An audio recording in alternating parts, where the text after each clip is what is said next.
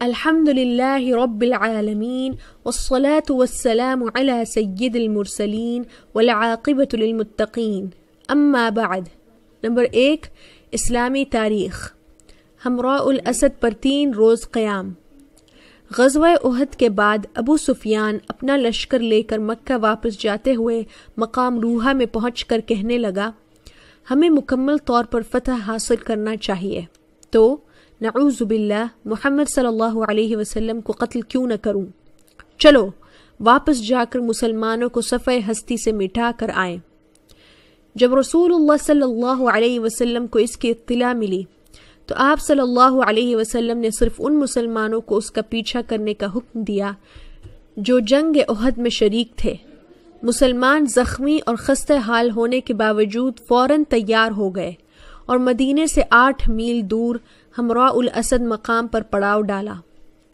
जब अबू सुफियान को उनकी बहादुरी और शजात का पता चला कि मोहम्मद सल्लल्लाहु अलैहि वसल्लम फिर अपने साथियों को लेकर मुकाबले के लिए पीछा कर रहे हैं तो उस पर खौफ तारी हो गया और सबकी हिम्मत पस्त हो गई।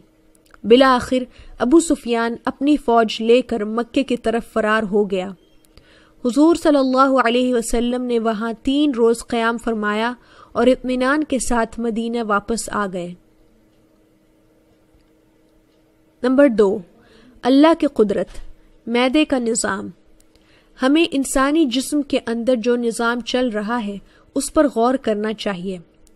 इंसान जब लुकमा मुँह में डालता है, वो मैदे में पहुँचता है। मैदे उसको पकाता है, फिर उस गज़ा का जो अच्छा हिस्सा होता है, उसको बारीक रगों के रास्ते से जिगर तक पहुंचाता है। फिर जिगर उसको खून में तब्दील करता है। उस खून को बारीक रगों के रास्ते से पूरे जिस्म में बेकदर ज़रूरत सप्लाई करता है। और मैदे में जो फासिद मादा होता है, वो पेशाब पखाने के रास्ते से बाहर निकल जाता है। अंदर का ये सारा निज़ाम कौन चला रहा है? बिलाशुबा वही वहदहूला शरीक है। नंबर तीन, एक फ़र्ज़ के बारे में। सुबह की नमाज़ अदा करने पर हिफाजत का जिम्मा। रसूलुल्लाह सल्लल्लाहु ने फरमाया, जिसने सुबह यानी फजर की नमाज़ अदा की, वो अल्लाह की हिफाजत में है। मुस्लिम 1493 अन जुंदब बिन अब्दुल्ला रज़ी अल्लाह अन्हु। नंबर चार, एक सुन्नत के बारे में, मूछों को तराशना। रसूलुल्लाह सल्लल्लाहु अलैहि को तराशते थे और फरमाया करते थे कि हज़रत इब्राहीम अलैहिस्सलाम भी ऐसा ही किया करते थे। तिरमिजी 2760 अन अब्दुल्ला बिन अब्बास रज़ी अल्लाह नंबर पाँच, एक अहम अमल की फजीलत, किसी को खाना खिलाना। रसूलुल्लाह सल्लल्लाहु अलैहि ने फरमाया जिसने किसी मोमिन को खाना खिलाया और उसको सैराब कर दिया तो अल्लाह ताला एक ख़ास दरवाजे से उसको जन्नत में दाखिल फरमाएगा, जिसमें उसके जैसा अमल करने वाला ही दाखिल होगा। तबरानी कबीर 16589 अन मुआज बिन जबल रज़ी अल्लाह अन्हु। नंबर छः, एक गुनाह के बारे में, आपस में दुश्मनी रखना।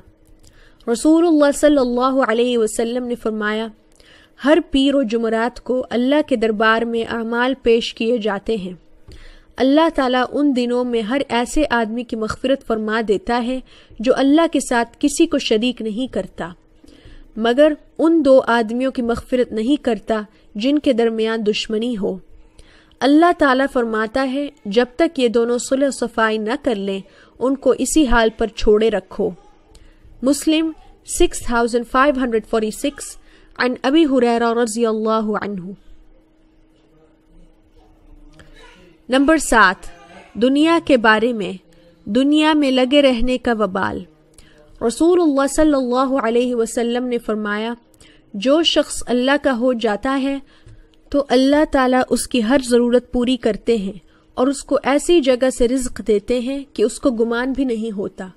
और जो शख्स पूरे तौर पर दुनिया की तरफ़ लग जाता है तो अल्लाह ताला उसको दुनिया के हवाले कर देते हैं। कंजुल अमाल 6270 अन इमरान बिन हुसैन रज़ी अन्हु नंबर आठ आखिरत के बारे में, क़यामत का मंज़र।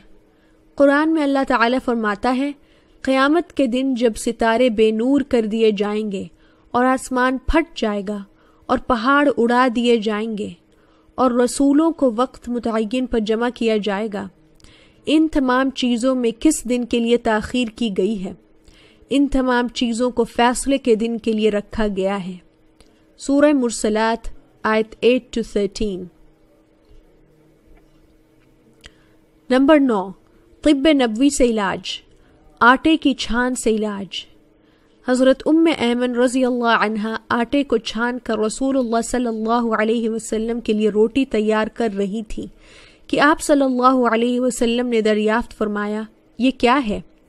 उन्होंने अर्ज़ किया, ये हमारे मुल्क का खाना है, जो आपके लिए तैयार कर रही हूँ। तो रसूलुल्लाह सल्लल्लाहु अलैहि वसल्लम ने फरमाया, तुमने आटे में से जो कुछ छान कर निकाला है, उसको इसी में डाल दो और फिर गूंधो। इब्न माजा 3336 फ़ायदा, जदीद तहकीक़ात से मालूम हुआ है कि आटे की छान, भूसी, पुराने कब्ज़ और ज़ियाबतीस के मरीज़ों के लिए बेहतरीन दवा है।